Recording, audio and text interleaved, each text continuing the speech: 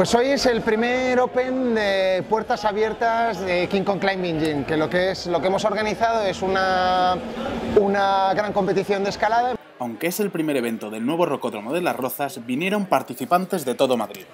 La verdad es que no lo esperábamos, pero hemos tenido 150 participantes, entre chicos y chicas. Por la mañana una primera ronda. Siete chicos y cinco chicas se han clasificado para la gran final. La final muy dura porque el nivel era extraordinario. Han pasado pues algún que otro campeón de España, algún otro que ha competido a nivel internacional y lo ha hecho bien. Una de las principales aspirantes, Heidi, se lesionó la muñeca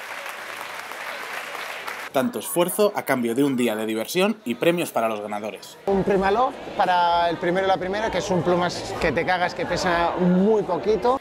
En la categoría masculina, solo el ganador consiguió terminar las dos secuencias de la final. Hola,